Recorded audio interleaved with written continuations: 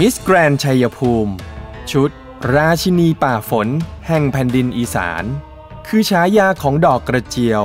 ซึ่งเป็นพันไม้ที่จะเบ่งบานชูช่อดอกสีชมพูท่ามกลางสายฝน ไอหมอกสีขาวบนพื้นป่าธรรมชาติเพียงปีละครั้งในช่วงฤดูฝน ชุดได้ผสมผสานผ้ามัดหมี่ ลายขั้นขอนารี ซึ่งเป็นลายเอกลักษณ์ของจังหวัดชัยภูมิที่มีประวัติยาวนานกว่า 200 ปี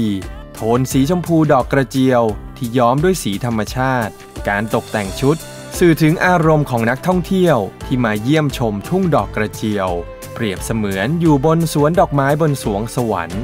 จนได้รับยกย่อง ให้เป็นราชินีแห่งป่าฝน ผ้ามัดหมี่โดย อุไรวันไหมไทย ออกแบบตัดเย็บโดย สุขโขสตูดิโอเชียงใหม่